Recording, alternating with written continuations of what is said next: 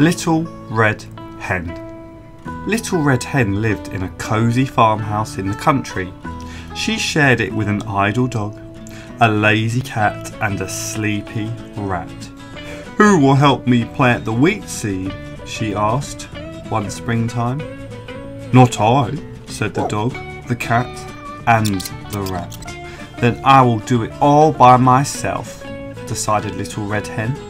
She scattered the seeds in neat rows, then watered them with her can. Spring, then summer passed. The crop grew tall and strong. Who will help me cut the wheat? asked Little Red Hen. Not I, said the dog, the cat, and the rat. Little Red Hen sighed. Then I will cut it all by myself, she said. The animals watched as Little Red Hen cut and harvest the wheat. It was hard, hot work for one. Little Red Hen put all the stacks of wheat on her cart and took them to the mill. Who will help me grind the wheat? she asked. Not I, said the dog, the cat, and the rat. Little Red Hen frowned. Then I will grind it all by myself. Little Red Hen spent many long hours grinding the wheat into flour. She slowly poured all the grain on her millstone, crushing it into a powder. There were many stacks to get through, but Little Red Hen never complained. The hours ticked by, but no one offered to help Little Red Hen. After a time, she got used to working all by herself. After a few days, the dog wandered back to the windmill.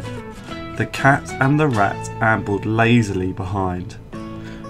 What are you doing, little red hen? asked the dog, slumping against a grain sack.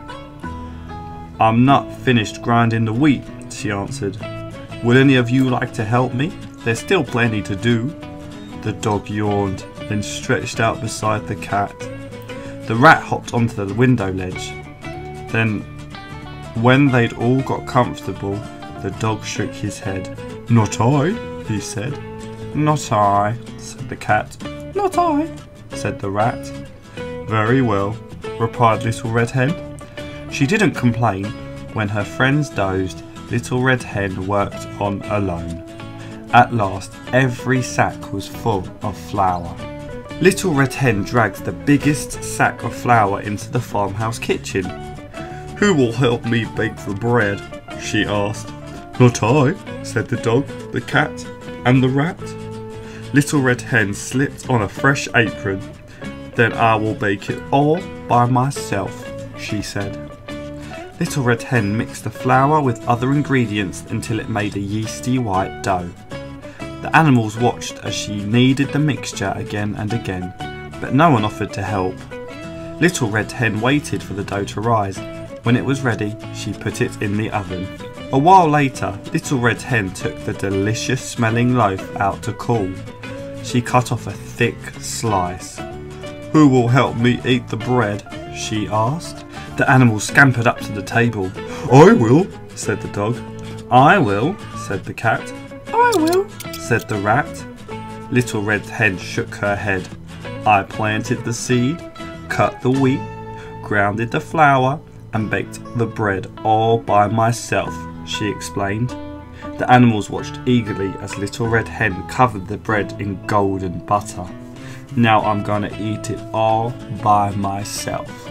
Little Red Hen poured a cup of tea, then took a seat at her little table.